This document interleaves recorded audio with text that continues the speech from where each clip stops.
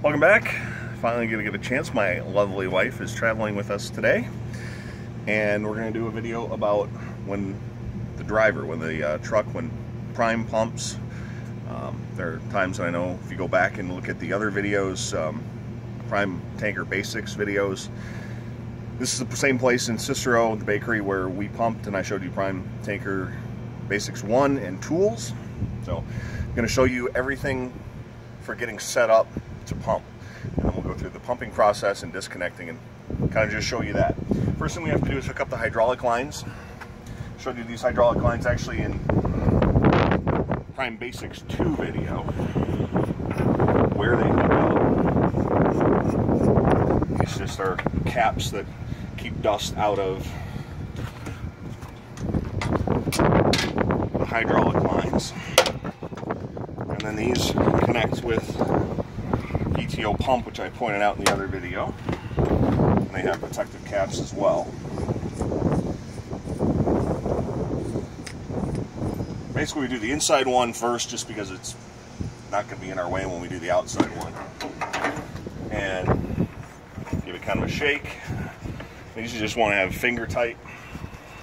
And there's a small line. Just tighten it as far as our small line and you can kind of feel where it stops just make sure it's snug to that point.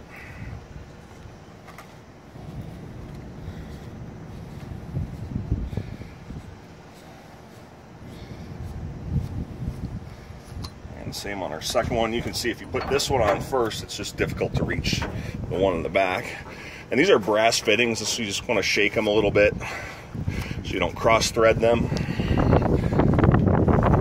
Here it's a little easier you can see that line right there. You just tighten it to that line.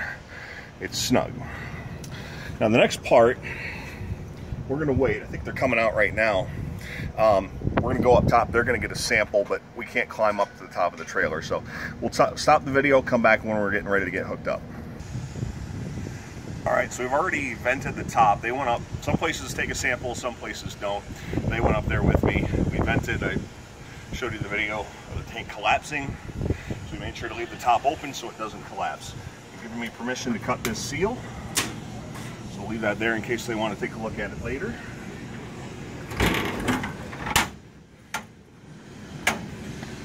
And now we got to find which of these two, there's two different kinds, and this might have two of the wrong kind, but we'll find out.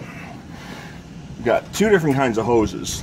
This is a female fitting then there's also a male fitting. Since we've got two female fittings, we got to find out if we have a male fitting on the other end.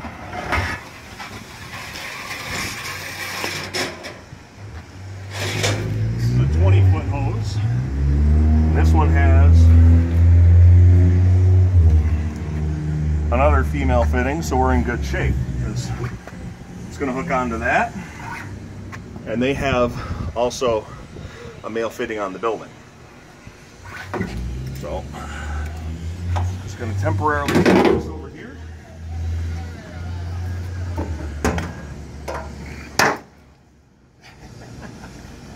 Oh.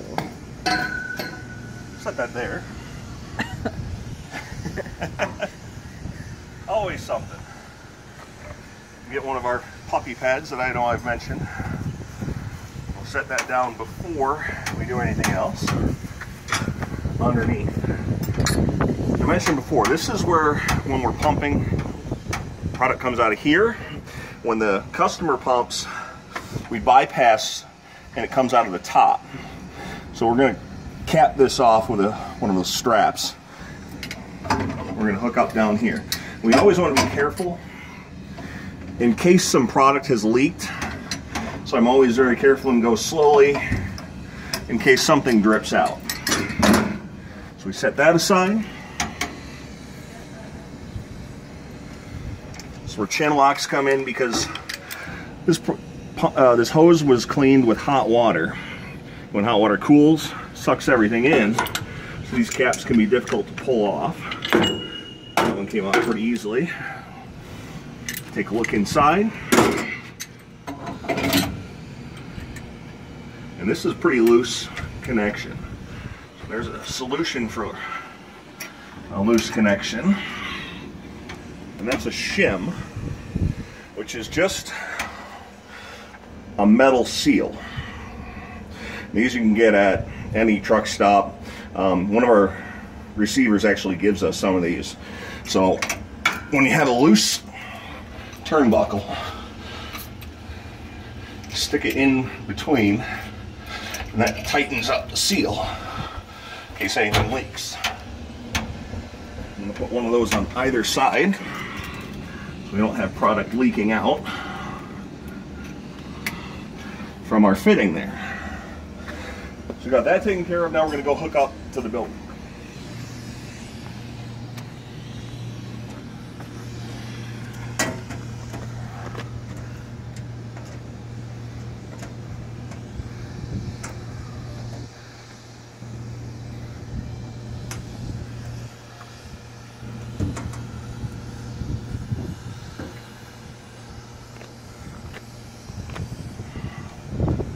Similarly, you have to be very careful. As you'll see, this is what having a little bit extra coming out looks like. So we'll grab our hose.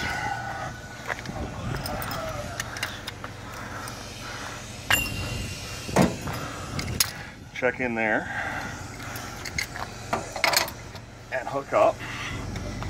And that's fairly tight. So now we get our straps. Now, I think I had mentioned before about plastic ones. I use those when we have the rings. So we've got metal rings. I'm to use I'm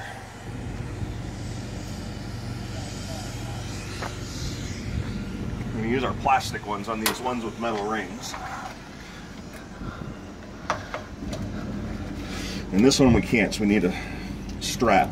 And even though there's nothing attached to this, if this rattles loose and this comes off, you got all that product that could come out. So we'll put a strap here.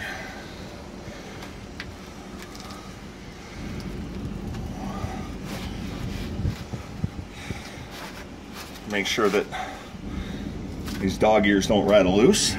Check that this is in neutral, which is right in the middle. It was pushed forward, which would be to load back into the truck. So make sure it's in neutral. Watch out. Got two more things to do before we're ready to pump. The big wrench, you got two nuts. The top and the bottom of the pump. You gotta make sure they're tight so don't have anything leaking. You don't wanna really tighten a ton, but you can see it moved maybe a half inch on both. And similarly for leaking, you got the four nuts on the faceplate of the pump. You want to make sure they're tight. And these are going to move just a little bit.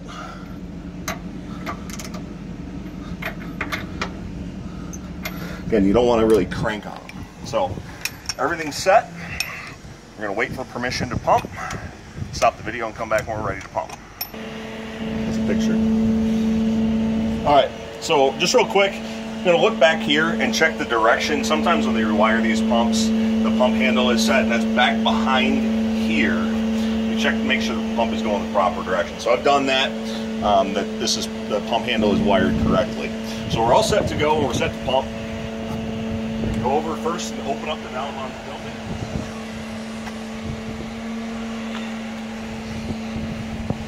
building. The bottom valve directs flow down to the pump and the top valve. And we're going to slowly turn on the pump. We're going to check for leaks. We're going to check the temperature. This should warm up. So this is warm. Got product flowing.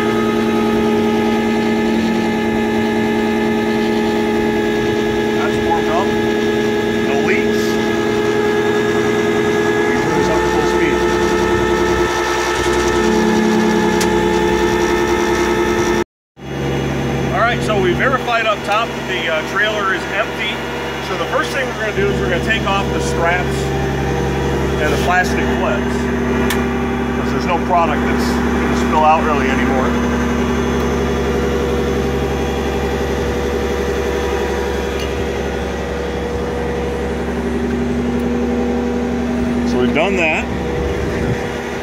close the valve on the building. This one I know you have to push and make sure it's really tight. So the pump is still going and their valve is closed. Now we're gonna come over here and we're gonna reverse the pump.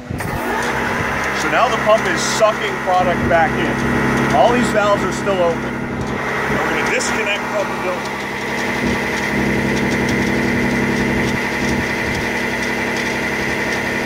Have suction. It's gonna be difficult to pull off. And you're gonna wanna make sure that anything that drips out goes into the hose. And you're gonna put their cap back on and close it up. You're gonna try and close up everything. Seal. Yeah. Cap's in the truck. Oh. I moved the cap while we were taping to the back of the truck. Thanks, dear. So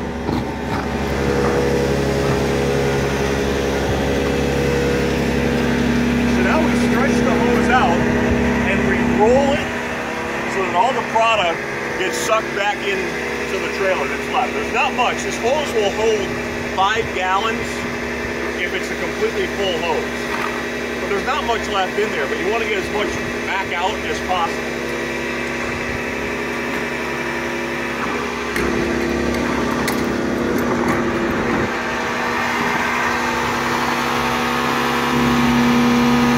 You can kind of hear it changes. It's gargling anymore.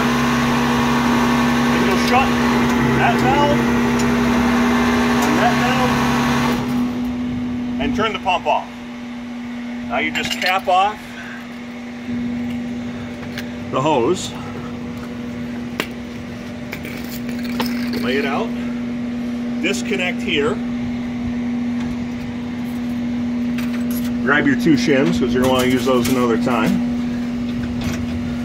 This is where even though we haven't had any leaks, this pad is still good to use because you're going to get at least a little bit dripping out.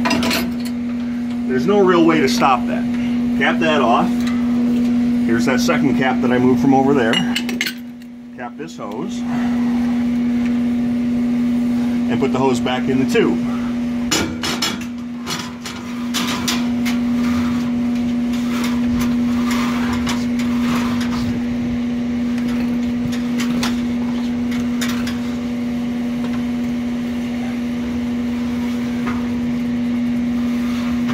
There's no need to really close those doors. Most of our trailers actually don't have those. You can leave the pad in there. The tank wash will take care of that.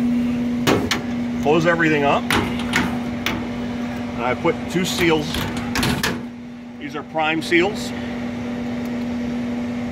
And we'll reseal the trailer.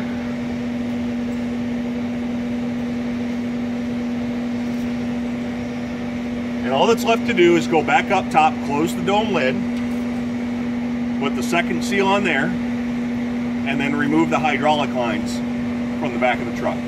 That's how it works for We Pump.